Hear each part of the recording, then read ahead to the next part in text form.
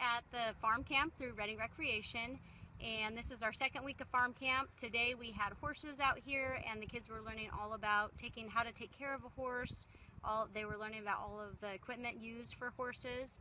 We also had the Shasta woodworkers out here and the kids got to build bird houses and so they're learning about creating environments for bringing good animals into their yards. Also at farm camp, they've been harvesting from our garden. We harvested basil today and we're going to be making some pesto this afternoon.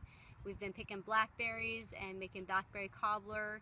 And the kids are getting some hands-on experience with animals. They have chores every morning where they come and they have to feed and water animals, take care of cleaning out their pens and make sure that the animals have a healthy environment. They collect eggs and we cook and scramble the eggs. We um, do all of the things on a farm that, that a typical farmer would do. Taking care of animals, raising animals. They know that the food they're eating comes from these animals. The food they're eating comes from the garden that they're harvesting. So it's a fully hands-on experience here at farm camp.